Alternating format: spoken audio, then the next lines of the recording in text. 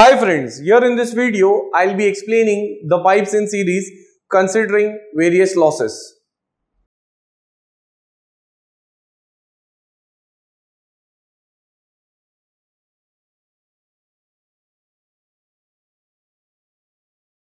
For that first I'll draw the diagram.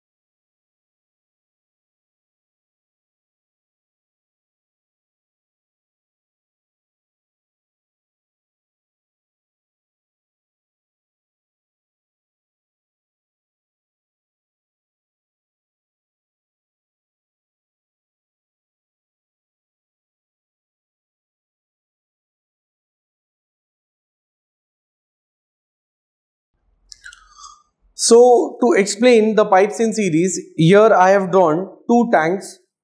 One is called as tank A and this is tank B.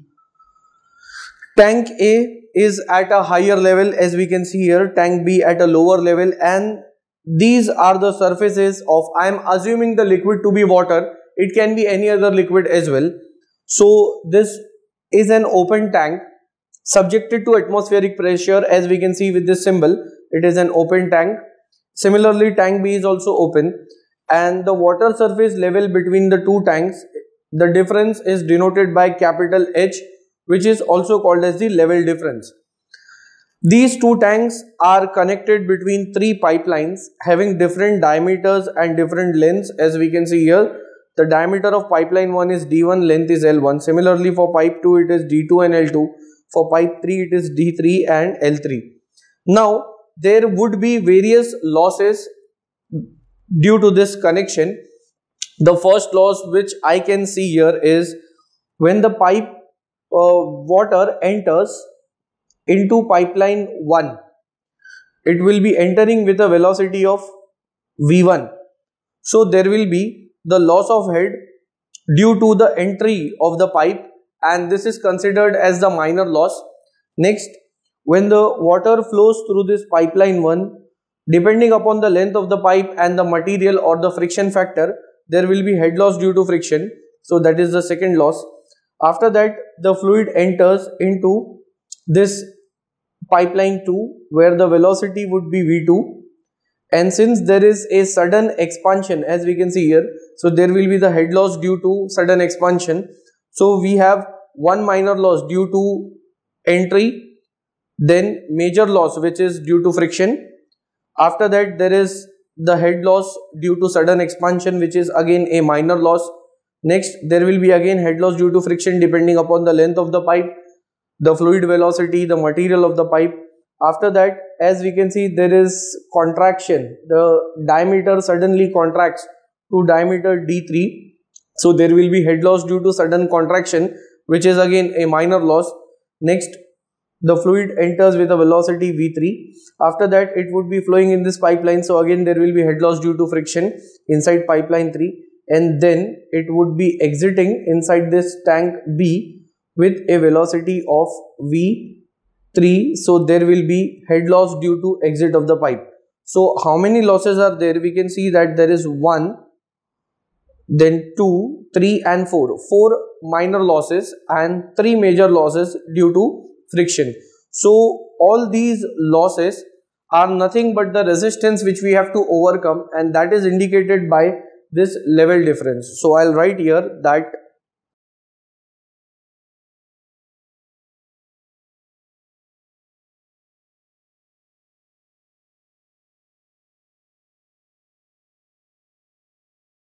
the level difference is equal to all losses.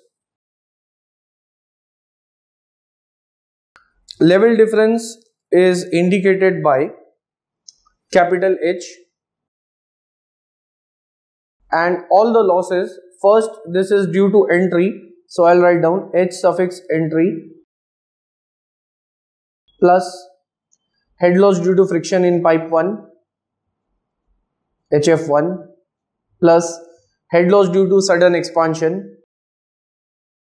Sudden expansion. Then head loss due to friction in pipeline 2 major loss. Then due to sudden contraction. So head loss due to sudden contraction. After that again due to length L3 there will be head loss due to friction called as the major loss in pipeline 3 so HF3 and finally the head loss due to exit of the pipe.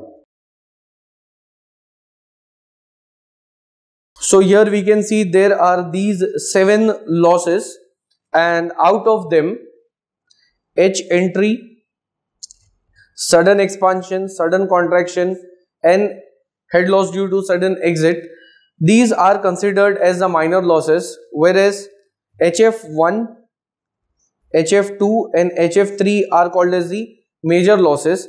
So here I have written that the level difference is equal to all these losses and for these individual losses that is H entry, HF1, H ex sudden expansion and up to H exit, the links of these individual videos would be provided in the description below. So you all can check the description. There would be the links in which I had explained how to get these formula that is these losses so you all can refer and complete this concept.